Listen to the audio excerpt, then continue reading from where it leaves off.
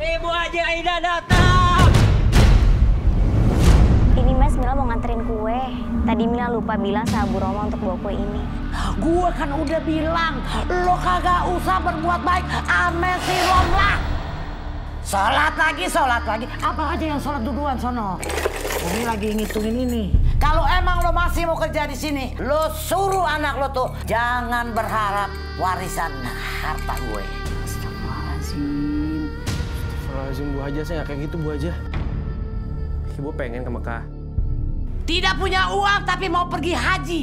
Ampe kiamat nih, lo kagak bakalan tuh malu pergi haji. Udah Pak RT, udah jelas dia nih malingnya. Ya. Ibu saya sakit. Pura-pura ya? Tunggu dulu Pak, ibu saya sakit Pak. Tunggu dulu Tidak bisa Pak, tunggu dulu Pak. Ibu saya sakit.